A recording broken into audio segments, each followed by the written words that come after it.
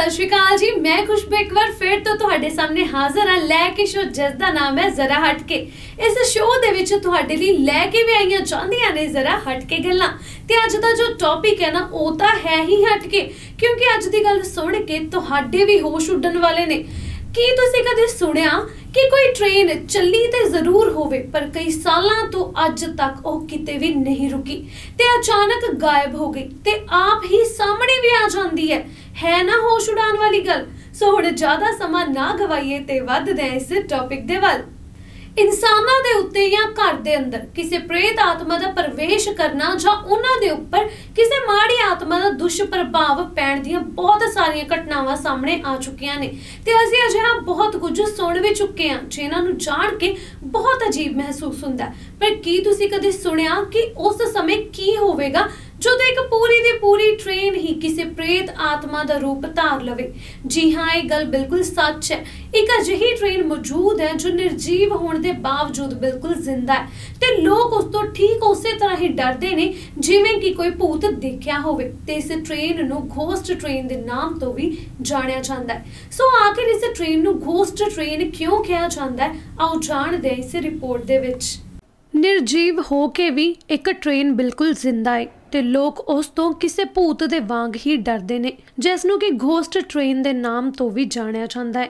ਇਸ ਟ੍ਰੇਨ ਨੂੰ ਦੁਨੀਆ ਦੇ ਵੱਖ-ਵੱਖ ਹਿੱਸਿਆਂ ਦੇ ਵਿੱਚ, ਵੱਖ-ਵੱਖ ਸਮੇਂ ਤੇ ਦੇਖਣ ਦੀਆਂ ਬਹੁਤ ਸਾਰੀਆਂ ਘਟਨਾਵਾਂ ਸਾਹਮਣੇ ਆਈਆਂ ਨੇ ਤੇ ਇਹ ਟ੍ਰੇਨ ਕਿੱਥੋਂ ਆਂਦੀ ਸੀ ਤੇ ਕਿੱਥੇ ਗਾਇਬ ਹੋ ਜਾਂਦੀ ਸੀ, ਇਸ ਦੇ ਬਾਰੇ ਅੱਜ ਤੱਕ ਵੀ ਕਿਸੇ ਨੂੰ ਕੁਝ ਵੀ ਨਹੀਂ ਪਤਾ ਤੇ ਨਾ ਹੀ ਕੋਈ ਪਤਾ ਲਗਾ ਸਕਿਆ। ਬਹੁਤ ਸਾਰੇ ਲੋਕਾਂ ਦਾ ਇਹ ਵੀ ਮੰਨਣਾ ਹੈ ਕਿ ਇਸ ਟ੍ਰੇਨ ਦੇ ਵਿੱਚ ਭੂਤ ਜਾਂ ਆਤਮਾਵਾਂ ਦਾ ਵਾਸ ਹੈ ਤੇ ਬਹੁਤ ਸਾਰੇ ਲੋਕਾਂ ਦਾ ਕਹਿਣਾ ਹੈ ਕਿ ਇਹ ਟ੍ਰੇਨ ਇੱਕ ਟਾਈਮ ਟਰੈਵਲ ਮਸ਼ੀਨ ਹੈ ਜੋ ਕਿ ਸਮੇਂ 'ਚ ਅੱਗੇ ਪਿੱਛੇ ਚੱਲ ਰਹੀ ਹੈ। ਇਸ ਤੋਂ ਇਲਾਵਾ ਕੁਝ ਲੋਕਾਂ ਦਾ ਇਹ ਵੀ ਮੰਨਣਾ ਹੈ ਕਿ ਇਹ ਟ੍ਰੇਨ ਪੈਰਲਲ ਯੂਨੀਵਰਸ ਯਾਨੀ ਕਿ ਕਿਸੇ ਦੂਸਰੀ ਦੁਨੀਆ ਤੋਂ ਹੈ ਤੇ ਟਾਈਮ ਲੂਪ ਦੇ ਵਿੱਚ ਫਸ ਚੁੱਕੀ ਹੈ। 14 ਜੂਨ 1911 ਚ ਰੋਮ ਤੋਂ ਜ਼ੈਨਾਟੀ ਨਾਮ ਦੀ ਇੱਕ ਟ੍ਰੇਨ ਚੱਲੀ ਸੀ, ਜਿਸ ਦੇ ਵਿੱਚ ਲਗਭਗ 106 ਯਾਤਰੀ ਮੌਜੂਦ ਸੀ, ਜੋ ਸਾਈਡ ਸੀਇੰਗ ਯਾਨੀ ਕਿ ਦਿਸ਼ਾ ਭ੍ਰਮਣ ਦੇ ਲਈ ਇਸ ਟ੍ਰੇਨ ਦੇ ਵਿੱਚ ਚੜੇ ਸੀ। ਇਸ ਟ੍ਰੇਨ ਦੀ ਮੰਜ਼ਿਲ ਵੈਸੇ ਤਾਂ ਨੇੜੇ ਦਾ ਹੀ ਇੱਕ ਹਿਲ ਸਟੇਸ਼ਨ ਸੀ, ਪਰ ਟ੍ਰੇਨ ਦੇ ਚੱਲਣ ਤੋਂ ਪਹਿਲੇ ਤੱਕ ਇਹ ਗੱਲ ਕੋਈ ਵੀ ਨਹੀਂ ਜਾਣਦਾ ਸੀ ਕਿ ਉਹ ਲੋਕ ਇੱਕ ਅਜਿਹੇ ਸਫ਼ਰ ਤੇ ਨਿਕਲਣ ਵਾਲੇ ਨੇ ਜਿਸ ਦੀ ਨਾ ਤਾਂ ਕੋਈ ਮੰਜ਼ਿਲ ਹੈ ਤੇ ਨਾ ਹੀ ਕੋਈ ਅੰਤ। ਆਪਣੀ ਮੰਜ਼ਿਲ ਤੱਕ ਪਹੁੰਚਣ ਦੇ ਲਈ ਇਸ ਟ੍ਰੇਨ ਨੂੰ ਤਕਰੀਬਨ 1 ਕਿਲੋਮੀਟਰ ਲੰਬੀ ਟਨਲ ਯਾਨੀ ਕਿ ਸੁਰੰਗ ਚੋਂ ਹੋ ਕੇ ਲੰਘਣਾ ਪੈਣਾ ਸੀ। ਪਰ ਹੈਰਾਨੀ ਵਾਲੀ ਗੱਲ ਇਹ ਸੀ ਕਿ ਇਹ ਟ੍ਰੇਨ ਉਸ ਟਨਲ ਦੇ ਇੱਕ ਹਿੱਸੇ ਚੋਂ ਅੰਦਰ ਤਾਂ ਜ਼ਰੂਰ ਗਈ, ਪਰ ਵਾਪਸ ਕਦੀ ਬਾਹਰ ਨਹੀਂ ਆਈ। ਪਹਿਲੇ ਤੇ ਲੋਕਾਂ ਨੂੰ ਲੱਗਿਆ ਕਿ ਸ਼ਾਇਦ ਟ੍ਰੇਨ ਸੁਰੰਗ ਦੇ ਅੰਦਰ ਫਸ ਚੁੱਕੀ ਹੈ। ਜਾਂ ਤਾਂ ਫਿਰ ਟ੍ਰੇਨ ਦੇ ਵਿੱਚ ਕੁਝ ਖਰਾਬੀ ਆਉਣ ਦੇ ਕਾਰਨ ਉਹ ਬਾਹਰ ਤੱਕ ਨਹੀਂ ਪਹੁੰਚ ਸਕੀ। ਜਿਸ ਤੋਂ ਬਾਅਦ ਆਪਣੀ ਇਹੀ ਸੋਚਾਂ ਦੇ ਚੱਲਦੇ ਰੋਮ ਪੁਲਿਸ ਦੇ ਕੁਝ ਆਫੀਸਰ ਤੇ ਰੇਲਵੇ ਅਥਾਰਟੀ ਦੇ ਕੁਝ ਮੈਂਬਰ ਉਸੇ ਟਨਲ ਦੇ ਅੰਦਰ ਗਏ। ਜਿੱਦਾਂ ਜਿੱਦਾਂ ਉਹ ਅੰਦਰ ਜਾਂਦੇ ਗਏ, ਉਹਨਾਂ ਦਾ ਡਰ ਵੱਧਦਾ ਗਿਆ, ਪਰ ਉਹਨਾਂ ਨੂੰ ਇਹ ਟਨਲ ਪੂਰੀ ਖਾਲੀ ਮਿਲੀ ਤੇ ਉਹ ਦੂਸਰੇ ਹਿੱਸੇ ਤੱਕ ਪਹੁੰਚ ਗਏ ਤੇ 14 ਜੂਨ ਨੂੰ ਚੱਲੀ ਉਸ ਟ੍ਰੇਨ ਦਾ ਕੁਝ ਵੀ ਪਤਾ ਨਹੀਂ ਲੱਗ ਸਕਿਆ। ਇਸ ਘਟਨਾ ਤੋਂ ਬਾਅਦ ਸਾਰੇ ਲੋਕ ਹੈਰਾਨ ਸੀ ਕਿ ਆਖਿਰ ਇੰਨੀ ਵੱਡੀ ਟ੍ਰੇਨ ਇੱਕ ਸੁਰੰਗ ਚੋਂ ਕਿੱਥੇ ਜਾ ਸਕਦੀ ਹੈ। ਫਿਰ ਇਸ ਟ੍ਰੇਨ ਦੇ ਗਾਇਬ ਹੋਣ ਦੀ ਗੁੱਥੀ ਹੱਲੇ ਸੁਲਝਣਾ ਵੀ ਸ਼ੁਰੂ ਨਹੀਂ ਹੋਈ ਸੀ ਕਿ ਉਸ ਸਮੇਂ ਰੋਮਨ ਰੇਲਵੇ ਦੇ ਕੋਲ ਦੋ ਲੋਕ ਆਏ ਤੇ ਉਹਨਾਂ ਦਾ ਕਹਿਣਾ ਸੀ ਕਿ ਉਹ ਦੋਵੇਂ ਉਸੇ ਟ੍ਰੇਨ ਦੇ ਯਾਤਰੀ ਨੇ ਤੇ ਟ੍ਰੇਨ ਦੇ ਟਨਲ 'ਚੋਂ ਜਾਣ ਤੋਂ ਕੁਝ ਸਮਾਂ ਪਹਿਲਾਂ ਹੀ ਉਹਨਾਂ ਨੇ ਟ੍ਰੇਨ 'ਚੋਂ ਛਲਾਂਗ ਮਾਰ ਦਿੱਤੀ ਸੀ, ਕਿਉਂਕਿ ਉਹਨਾਂ ਨੂੰ ਟਨਲ ਦੇ ਮੂੰਹ ਤੇ ਬਹੁਤ ਜ਼ਿਆਦਾ ਸਫੇਦ ਧੂਆਂ ਦਿਖਿਆ ਸੀ, ਜਿਸ ਤੋਂ ਉਹ ਡਰ ਗਏ ਤੇ ਉਹਨਾਂ ਨੇ ਟ੍ਰੇਨ 'ਚੋਂ ਛਾਲ ਮਾਰ ਦਿੱਤੀ। ਇਨ੍ਹਾਂ ਦੋਨਾਂ ਲੋਕਾਂ ਦੇ ਇਸ ਬਿਆਨ ਨੇ ਇਸ ਟ੍ਰੇਨ ਦੇ ਰਹੱਸ ਨੂੰ ਹੋਰ ਵੀ ਡੂੰਘਾ ਕਰ ਦਿੱਤਾ। ਫਿਲਹਾਲ ਰੋਮਨ ਰੇਲਵੇ ਨੇ ਸਾਵਧਾਨੀ ਵਰਤਦੇ ਹੋਏ ਇਸ ਟਨਲ ਨੂੰ ਹਮੇਸ਼ਾ ਦੇ ਲਈ ਬੰਦ ਕਰਵਾ ਦਿੱਤਾ ਸੀ।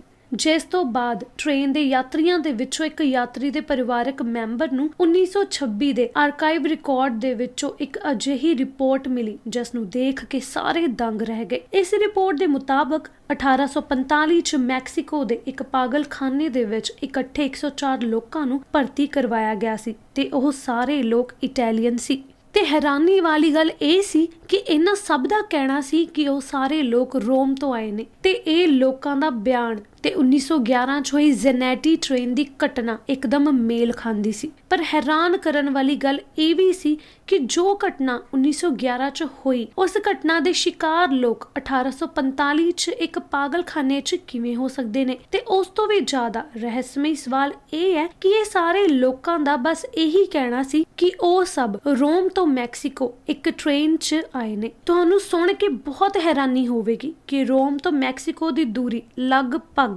10234 ਕਿਲੋਮੀਟਰ ਹੈ ਤੇ ਇਹਨਾਂ ਦੋਵਾਂ ਥਾਵਾਂ ਦੇ ਵਿੱਚ ਇੱਕ ਬਹੁਤ ਵੱਡਾ ਸਮੁੰਦਰ ਤੇ ਬਹੁਤ ਸਾਗਰ ਨੇ ਤੇ ਇੱਕ ਟ੍ਰੇਨ ਇੰਨਾ ਵੱਡਾ ਸਫ਼ਰ ਉਹ ਵੀ ਪਾਣੀ ਦੇ ਰਾਹ ਤੋਂ ਕਿਵੇਂ ਤੈਅ ਕਰ ਸਕਦੀ ਸੀ। ਇਨ੍ਹਾਂ 104 ਇਟਾਲੀਅਨ ਲੋਕਾਂ ਦੇ ਬਿਆਨਾਂ ਦੀ ਤਫਤੀਸ਼ ਕਰਦੇ ਹੋਏ ਜਦੋਂ ਰੋਮ ਤੋਂ ਮੈਕਸੀਕੋ ਆਏ ਪਾਣੀ ਦੇ ਜਹਾਜ਼ਾਂ ਤੇ ਉਹਨਾਂ ਦੇ ਯਾਤਰੀਆਂ ਦੀ ਲਿਸਟ ਕੱਢੀ ਗਈ ਤੇ ਉਹਨਾਂ ਦੇ ਵਿੱਚ ਇਨ੍ਹਾਂ 104 ਲੋਕਾਂ ਦੇ ਵਿੱਚੋਂ ਕਿਸੇ ਇੱਕ ਦਾ ਵੀ ਜ਼ਿਕਰ ਤੱਕ ਨਹੀਂ ਸੀ। ਤੇ ਆਖਰ ਉਸ ਪਾਗਲਖਾਨੇ 'ਚ ਅਚਾਨਕ 104 ਲੋਕ ਇੱਕੋ ਗੱਲ ਬੋਲਣ ਵਾਲੇ ਤੇ ਇੱਕੋ ਦੇਸ਼ ਦੇ ਆਏ ਕਿੱਥੋਂ ਸੀ? ਇਹ ਅੱਜ ਵੀ ਕੋਈ ਪਤਾ ਨਹੀਂ ਲਗਾ ਸਕਿਆ। ਇਸੇ ਦੇ ਚੱਲਦੇ ਹੀ ਇਨ੍ਹਾਂ 104 ਲੋਕਾਂ ਦੇ ਵਿੱਚੋਂ ਇੱਕ ਦੇ ਕੋਲੋਂ ਇੱਕ ਸਿਗਰਟ ਦੀ ਡੱਬੀ ਵੀ ਮਿਲੀ, ਜਿਸ ਤੇ ਕੰਪਨੀ ਦੇ ਨਾਮ ਦੇ ਨਾਲ ਉੱਪਰ 1907 ਵੀ ਲਿਖਿਆ ਸੀ। ਇਸ ਡੱਬੀ ਨੂੰ ਅੱਜ ਵੀ ਮੈਕਸੀਕੋ ਨੇ ਜ਼ਬਤ ਕੀਤਾ ਹੋਇਆ ਹੈ। ਤੇ ਆਖਰ ਇਹ ਰਹੱਸਮਈ ਟ੍ਰੇਨ ਉਸ ਸੁਰੰਗ ਚੋਂ ਕਿੱਥੇ ਗਾਇਬ ਹੋ ਗਈ? ਇਹ ਗੱਲ ਅੱਜ ਵੀ ਇੱਕ ਰਹੱਸ ਹੀ ਬਣਿਆ ਹੋਇਆ ਹੈ। ਪਰ ਇਸ ਗੋਸਟ ਟ੍ਰੇਨ ਨੂੰ ਅੱਜ ਤੱਕ ਬਹੁਤ ਵਾਰ ਰਸ਼ੀਆ, ਜਰਮਨੀ, ਇਟਲੀ, ਰੋਮਾਨੀਆ ਤੇ ਇੰਡੀਆ ਦੇ ਬਹੁਤ ਸਾਰੇ ਹਿੱਸਿਆਂ ਦੇ ਵਿੱਚ ਦੇਖਿਆ ਗਿਆ ਹੈ। ਇਸ ਟ੍ਰੇਨ ਨੂੰ ਦੇਖਣ ਵਾਲਿਆਂ ਦਾ ਕਹਿਣਾ ਹੈ ਕਿ ਇਹ ਟ੍ਰੇਨ ਅਚਾਨਕ ਹੀ ਉਹਨਾਂ ਦੇ ਸਾਹਮਣੇ ਪ੍ਰਗਟ ਹੋਈ ਸੀ ਤੇ ਉਸ ਟ੍ਰੇਨ 'ਚ ਤਿੰਨ ਕੰਪਾਰਟਮੈਂਟ ਸੀ ਜੋ ਇੱਕ ਲੋਹੇ ਦੇ ਲੰਬੇ ਤੇ ਮੋਟੇ ਪਾਈਪ ਦੇ ਨਾਲ ਆਪਸ 'ਚ ਜੁੜੇ ਹੋਏ ਸੀ। ਜਿਸ ਤੋਂ ਇਹ ਗੱਲ ਸਾਫ਼ ਹੈ ਕਿ ਅਲੱਗ-ਅਲੱਗ ਥਾਵਾਂ ਤੋਂ ਅਚਾਨਕ ਦੇਖੀ ਗਈ ਇਹ ਟ੍ਰੇਨ ਇੱਕ ਹੀ ਸੀ। ਜਿਸ ਤੋਂ ਬਾਅਦ 1991 ਚ ਪੋਲਟਾਵਾ ਚ ਜਦੋਂ ਇਸ ਗੋਸਟ ਟ੍ਰੇਨ ਨੂੰ ਦੇਖਿਆ ਗਿਆ ਤੇ ਉਸ ਸਟੇਸ਼ਨ ਤੇ ਮੌਜੂਦ ਇੱਕ ਪੈਰਾਨੋਰਮਲ ਐਕਸਪਰਟ ਵੀ ਇਸ ਟ੍ਰੇਨ ਦਾ ਸੱਚ ਜਾਣਨ ਦੇ ਲਈ ਇਸ ਟ੍ਰੇਨ 'ਚ ਭੱਜ ਕੇ ਚੜ ਗਿਆ ਤੇ ਖੁਦ ਵੀ ਹਮੇਸ਼ਾ ਹਮੇਸ਼ਾ ਦੇ ਲਈ ਗਾਇਬ ਹੋ ਗਿਆ। ਅੱਜ ਵੀ ਉਸ ਦੀ ਕੋਈ ਵੀ ਖਬਰ ਨਹੀਂ ਹੈ। ਫਿਲਹਾਲ ਇਹ ਘਟਨਾ ਟਾਈਮ ਟਰੈਵਲ ਦੀ ਹੈ ਜਾਂ ਸੱਚ ਦੇ ਵਿੱਚ, ਇਸ ਟ੍ਰੇਨ ਦੇ ਵਿੱਚ ਆਤਮਾਵਾਂ ਦਾ ਵਾਸ ਹੈ। ਇਹ ਅੱਜ ਤੱਕ ਕਿਸੇ ਨੂੰ ਵੀ ਕੁਝ ਨਹੀਂ ਪਤਾ ਲੱਗ ਸਕਿਆ ਤੇ ਅੱਜ ਵੀ ਇਹ ਟ੍ਰੇਨ ਇੱਕ ਰਹੱਸ ਹੀ ਬਣੀ ਹੋਈ ਹੈ। ਇਹ ਤੇ ਸੀ ਗੋਸਟ ਟ੍ਰੇਨ ਦੀ ਰਹੱਸਮਈ ਤੇ ਅਨਸੁਲਝੀ ਕਹਾਣੀ। ਸੋ ਹੁਣ ਕੀ ਕਹਿਣਾ ਤੁਹਾਡਾ ਇਸ ਵੀਡੀਓ ਦੇ ਬਾਰੇ ਤੇ ਇਸ ਕਹਾਣੀ ਦੇ ਬਾਰੇ? ਸਾਨੂੰ ਕਮੈਂਟ ਬਾਕਸ 'ਚ ਕਮੈਂਟ ਕਰਕੇ ਜ਼ਰੂਰ ਦੱਸੋ। ਤੇ ਜੇਕਰ ਇਹ ਵੀਡੀਓ ਤੁਸੀਂ ਫੇਸਬੁੱਕ ਤੇ ਦੇਖ ਰਹੇ ਹੋ, ਤਾਂ ਸਾਡੇ Facebook page United NRI post ਨੂੰ ਫੋਲੋ ਜ਼ਰੂਰ ਕਰੋ। ਤੇ ਜੇਕਰ YouTube ਤੇ ਦੇਖ ਰਹੇ ਹੋ, ਤੇ ਸਾਡੇ YouTube ਚੈਨਲ ਦਾ ਟੀਵੀ ਐਨਆਰਆਈ ਨੂੰ ਸਬਸਕ੍ਰਾਈਬ ਜ਼ਰੂਰ ਕਰੋ ਤੇ ਬੈਲ ਆਈਕਨ ਦਬਾਉਣਾ ਨਾ ਭੁੱਲੋ, ਤਾਂ ਜੋ ਸਾਡੀ ਹਰ ਇੱਕ ਵੀਡੀਓ ਹਰ ਇੱਕ ਅਪਡੇਟ ਤੁਹਾਡੇ ਤੱਕ ਜ਼ਰੂਰ ਪਹੁੰਚ ਸਕੇ।